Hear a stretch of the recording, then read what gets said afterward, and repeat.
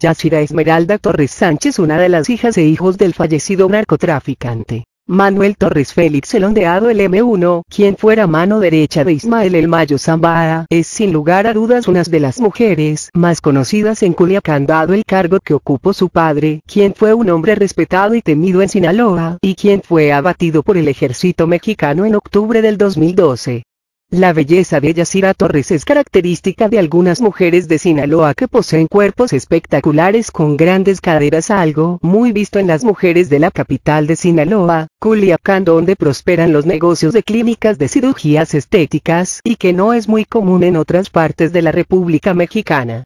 La joven Yasira ha tenido grandes pérdidas tanto familiares como sentimentales, la primera fue en el 2008, cuando su hermano Atanasio Torres Acosta el M4 fue ejecutado tras desatarse la guerra con el cártel de los Beltrán Leiva, en el ataque que sufrió su hermano salió herida su hermana Alondra, quien contaba con solo 6 años de edad. Atanasio Torres hijo del ondeado y hermano de Yasira también sufrió la pérdida de quien fuera su esposo y padre de su único hijo Honorio Félix Gutiérrez un narcotraficante con quien estuvo casada y tuvo un hijo de esa relación, su ex esposo fue ejecutado en el 2011 cuando fue emboscado a bordo de su cuatrimoto Polaris por un grupo de hombres armados que lo acribillaron. Honorio Félix, ex esposo de Yasira, fue ejecutado cuando contaba con 22 años. El golpe más duro vino cuando su padre Leme, uno fue asesinado durante un operativo del ejército en Oso Viejo, sindicatura de Quila en el 2012. Manuel Torres fue la mayor pérdida que ha tenido Yasira.